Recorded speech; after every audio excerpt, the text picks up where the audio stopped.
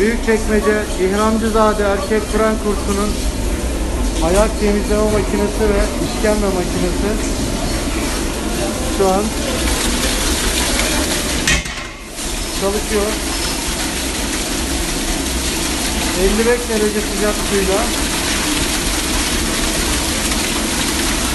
bu şekilde arkadaşlar temizliyorlar. Kaba piştiğini alıyorlar